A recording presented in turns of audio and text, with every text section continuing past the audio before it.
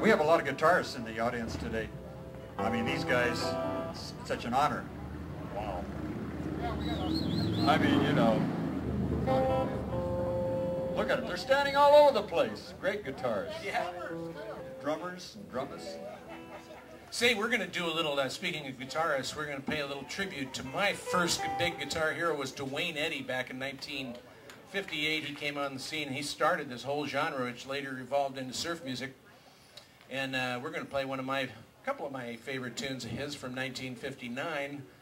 First, we're going to do the, he had kind of a sweet side and a rockin' side. We'll start with the sweeter side, play a little thing called The Lonely One. Yes.